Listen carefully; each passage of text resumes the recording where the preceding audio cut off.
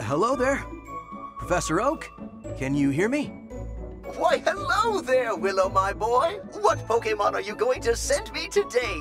Actually, Professor, it's a special one.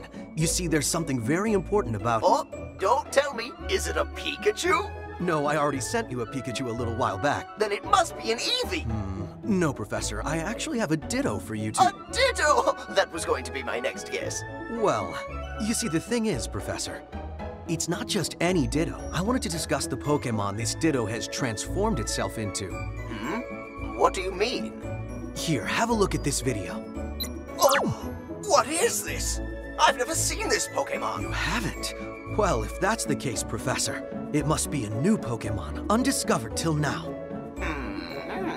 There have been numerous sightings of this Pokemon reported over the past few days. But it turns out that all of them were just transformed Ditto.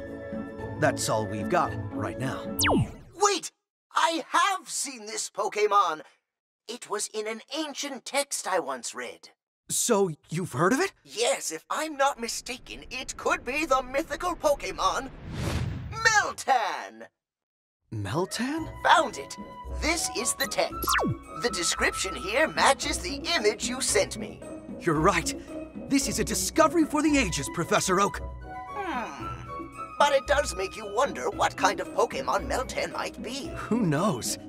But I am excited to find out, Professor. I'll keep gathering any information I can find. And I'll keep going through these texts, as well as taking a close look at that Ditto you're sending my way. Oh, Professor, I knew you wouldn't let me down. I consider myself very lucky to have you as my mentor. I know. Right, I'll be in touch. Wait, I... Meltan. Meltan's its name, huh? That's got a nice ring to it. Right, looks like it's time to do some field work.